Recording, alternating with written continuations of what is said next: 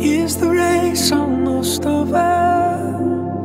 I've been running my best with the weight on my shoulder and the world on my chest.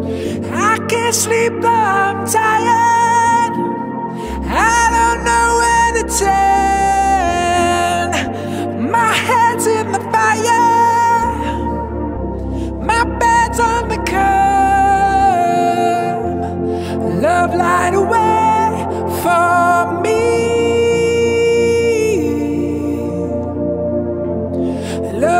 away from me.